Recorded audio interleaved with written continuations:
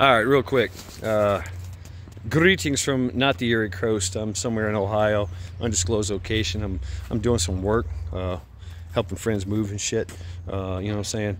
Doing some things. So uh, just real quick. Uh, fuck, fuck you, EG. Who gives a fuck about you? Go about your biz. Uh, we all know you a scammer. Uh, so fuck off. And anyway, um, it's a beautiful day out here. It's like 40 something degrees, 50. Go ahead.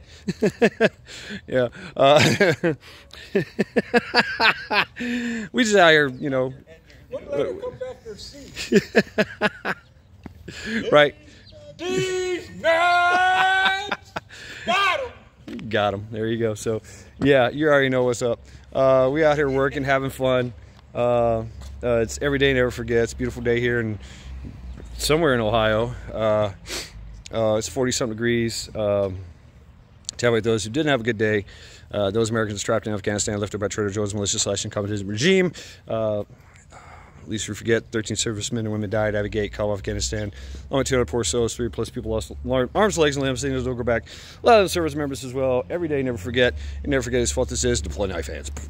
Yeah, right. Uh, and uh, at least you forget that 800, 900 plus individuals are still incarcerated over the J6 debacle, held as political political prisoners without sentencing, without bail, torture, solitary confinement conditions. Someone lost an eye, right? So, um, yeah, every day, we never forget. Um, fuck you, all American. Uh, you ain't all American. you just you just a sad old man that I don't know doing drugs or shit and fucking doing drugs in your in, in your in your in your shed. I don't know. Uh, maybe you should uh, get a job or something.